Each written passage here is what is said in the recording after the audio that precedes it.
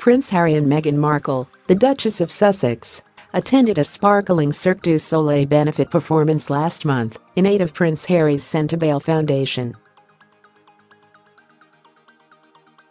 Sentebale is now known for the work it does to support children and young people affected by HIV in the African countries of Lesotho and Botswana. However, when Prince Harry set up the charity in 2006, he went against the wishes of his father Prince Charles, royal author Kate Nicholl reveals. Her 2018 book Harry, Life, Loss, and Love delves into the younger days of the Duke of Sussex.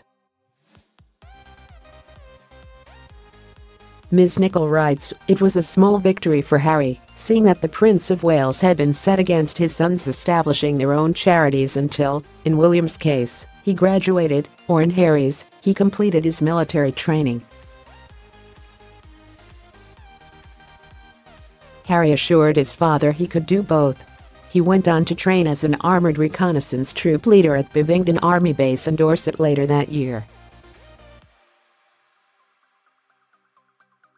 Prince Harry set up the charity after visiting Lesotho and meeting Prince Seeiso, who had also lost his mother, Queen Mahomato, at a young age.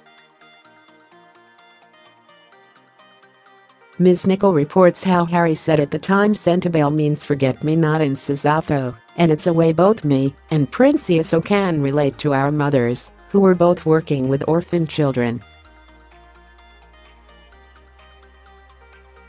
He added, rather than aiming directly at AIDS itself, Sentebale is about the knock-on effect on the children.